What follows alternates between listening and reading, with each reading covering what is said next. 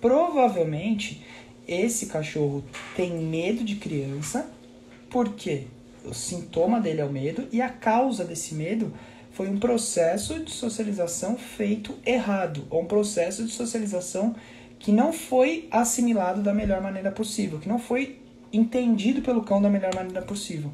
Então, naturalmente, esse cachorro ele tem medo, ele começa a ter medo. E aí ele pode abrir outros tipos de comportamentos, tá? O medo ele é um comportamento que ele pode trazer outros. Então, seu cachorro pode ter reatividade porque ele tem medo. E aí adianta a gente tratar a reatividade sem que a gente trate o medo dele? Sem que a gente ensine a ele que ele não precisa ter medo? O meu cachorro tem medo, Rafa, beleza. E ele entra em reatividade, não adianta eu tratar a reatividade se eu não tratar o medo. Se eu não trato, são coisas completamente diferentes. Aí foi o que ela descreveu aqui. Como diferenciar o medo de reatividade?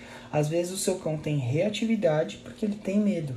Se eu não trato o medo, eu não resolvo a reatividade.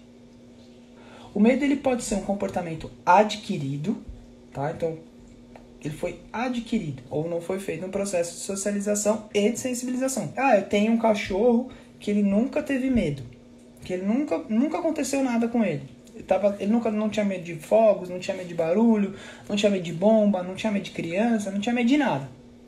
Só que em um determinado momento aconteceu alguma coisa. E aí esse cachorro começou a ter medo. O que, que é se aconteceu alguma coisa? Sei lá, estourou um fogos, ou então passou um animal com, as, com aquelas motos barulhentas e fez aquele. pá! Estourou na, na, enquanto você estava passeando com ele. E aquilo lá gerou uma associação, trouxe para ele uma memorização, trouxe algo para ele que começou a desencadear o comportamento de medo. E aí, quando a gente fala sobre o comportamento sobre o comportamento de medo, ele tem, ele foi adquirido, e aí o grande problema do medo é que ele é sempre potencializado e ele e o cachorro aprende a evoluir o medo.